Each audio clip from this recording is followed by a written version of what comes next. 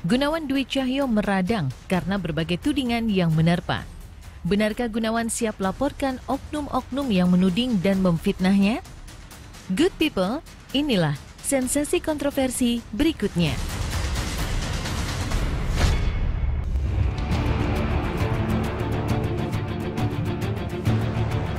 Gunawan Dwi Cahyo benar-benar tengah terpojok. Isu dirinya punya wanita idaman lain jelas-jelas membuat hati Oki Agustina hancur berkeping-keping. Langkah tegas pun telah diambil. Oki siap bercerai dan menyelesaikan rumah tangganya dengan Gunawan yang telah terbina selama 11 tahun lamanya. Yang menjadi miris adalah Gunawan hingga kini terus dibombardir oleh isu-isu liar, salah satunya wanita yang diduga menjadi pihak ketiga tak lain adalah istri orang, alias ia masih memiliki suami. Tak hanya itu, Gunawan juga disebut-sebut sudah nikah siri, meskipun kebenarannya masih simpang siur. Benarkah Gunawan sudah mulai jengah dengan berbagai tudingan yang menyasar padanya? Benarkah Gunawan siap ambil langkah tegas dan melaporkan oknum-oknum yang menyebar fitnah-fitnah tersebut? Bagaimana pula kondisi Oki Agustina saat ini?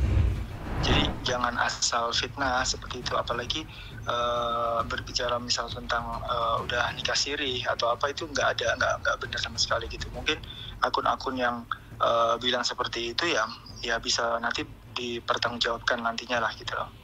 Sejauh ini uh, mandat dari Bu Oki adalah kita mengumpulkan dulu bukti-buktinya. Jika memang nanti sudah keterlaluan atau sudah melampaui batas, mungkin kita akan menempuh langkah hukum?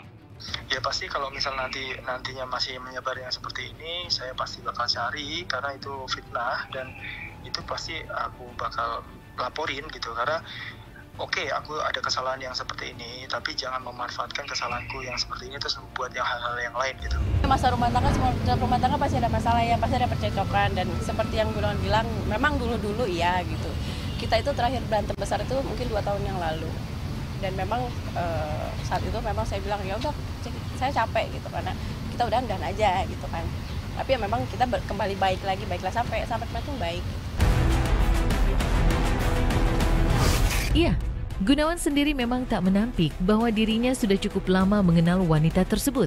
Namun foto-foto dan video yang beredar adalah rekayasa yang sengaja dibuat sedemikian rupa oleh oknum yang tak bertanggung jawab demi kepentingan-kepentingan terselubung.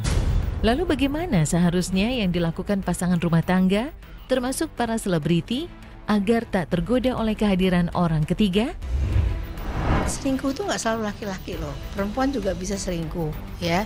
Dan kalau misalnya sebetulnya kan gini, kalau orang selingkuh tuh pasti suka ada alasannya. Ini kalau misalnya alasannya adalah nggak bisa komunikasi, uh, istrinya membosankan karena rutinitasnya begitu banyak dan sebagainya gitu.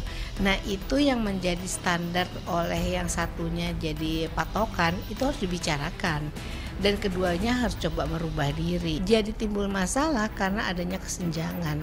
Dan sekarang pertanyaan saya, nggak ada keluarga yang kemudian dengan sengaja mau bercerai kalau tidak ada penyebab ya kan? Nah penyebab ini apa? Ya itu masalah rumah tangga atau apa pun itu kan itu uh, aib keluarga aku sendiri dan aku nggak mungkin berbicara tentang itu.